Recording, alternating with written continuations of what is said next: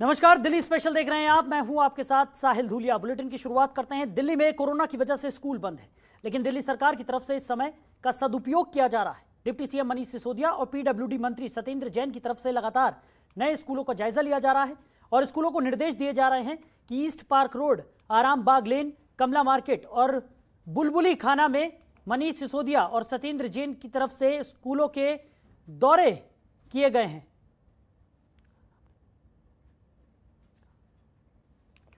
तो आपको बता दें कि इन स्कूलों में कक्षाओं की संख्या बढ़ाने के निर्देश दिए गए हैं। दिल्ली सरकार की कोशिश है कि जब भी ये स्कूल खुलें तो किसी भी बच्चे को कोई परेशानी ना हो। अच्छी शिक्षा के साथ बच्चे अच्छी सुविधाएँ भी पा सके। इस विषय पर पीडब्ल्यूडी मंत्री सत्येंद्र जैन ने ट्वीट किया है। उन्होंने लिखा कि कोरोना की वजह से स्कूल बंद हैं। दिल्ली सरकार नए स्कूल बनाकर इस समय का सदुपयोग कर रही है। आज उप मुख्यमंत्री श्री मनीष सिसोदिया जी के साथ ईस्ट पार्क रोड आराम बाग लेन कमला मार्केट और बुलबुली खाना में स्कूलों के दौरे किए। इन स्कूलों में कक्षाओं की संख्या बढ़ाने के निर्देश दिए गए हैं।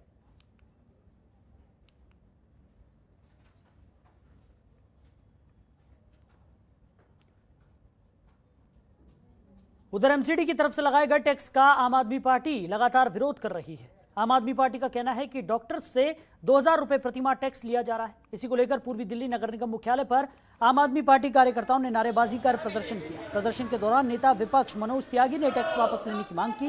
नेता विपक्ष ने भाजपा शासित निगम पर मनमानी करने का आरोप लगाया और कहा कि धरती के भगवान, यानी डॉक्टर पेशे पर से दो हज़ार रुपए प्रतिमा टैक्स लगाया जा रहा है। जिसका आम आदमी पार्टी विरोध करती है। उन्होंने कहा कि कोरोना योद्धा वीर डॉक्टरों को सम्मानित करने के बजाय उनके ऊपर टैक्स थोपना बेईमानी है।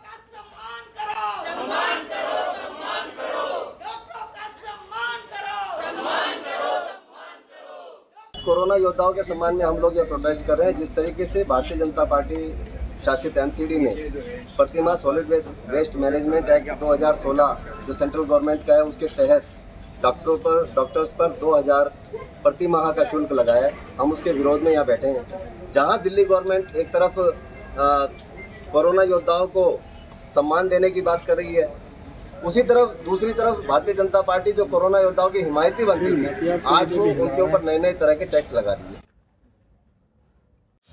खबरों के निष्पक्ष विश्लेषण के लिए सब्सक्राइब करें Jantantra TV and press the bell icon. Never miss any update.